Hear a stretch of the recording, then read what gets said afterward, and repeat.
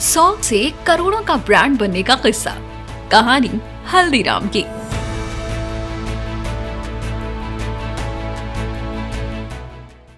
हर सफल कहानी के पीछे बहुत सारी मेहनत छुपी होती है और हर सफल व्यापार के पीछे भी किसी ना किसी का योगदान जुड़ा होता है।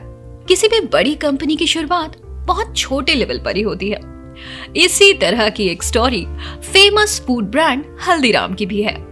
हल्दीराम भुजिया सेब हल्दीराम की सोन पापड़ी और कई तरह की नमकीन और स्नैक्स का स्वाद हमारी जबान पर चढ़ा हुआ है। लेकिन क्या यह शुरुआत से ही इतना ही फ़ेमस था?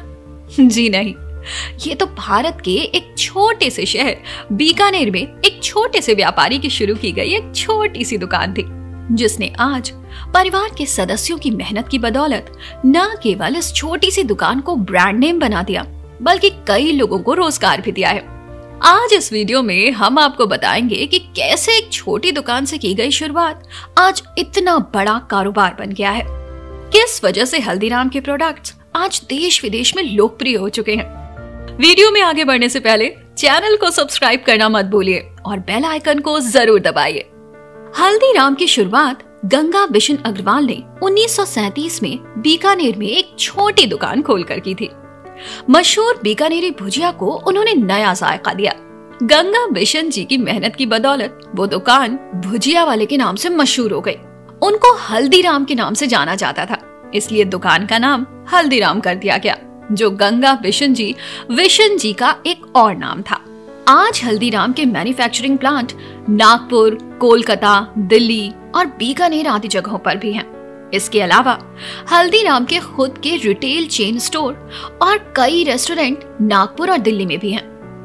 भारत के अलावा अब इस कंपनी के उत्पाद और कई देशों जैसे United Kingdom Sri Lanka United America Canada, United Arab Emirates Australia New Zealand Japan और थाईलैंड जैसे कई देशों में भी इम्पोर्ट होते हैं हल्दीराम ने अपना पहला मैन्युफैक्चरिंग प्लांट कोलकाता में डाला था इसके बाद कंपनी का दूसरा और बड़ा प्लांट दिल्ली में स्थापित किया गया।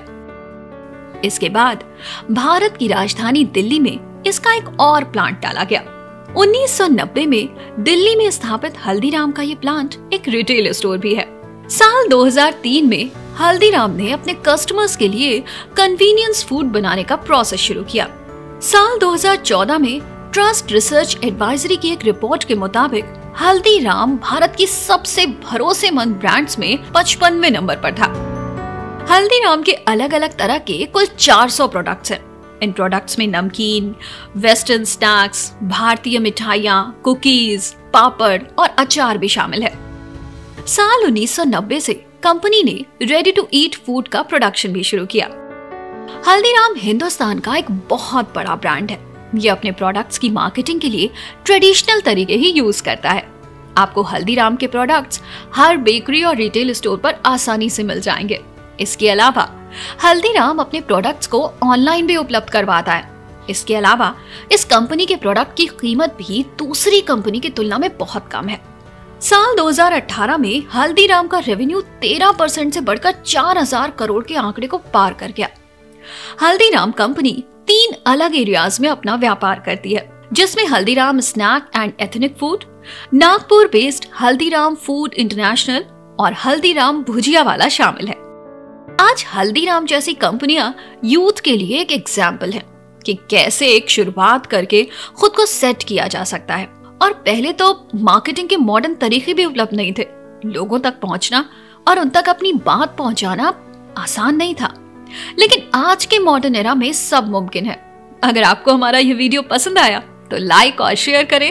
ऐसे ही फ़ेमस ब्रांड्स की सक्सेस स्टोरीज के लिए कमेंट करके हमें ज़रूर बताएँ।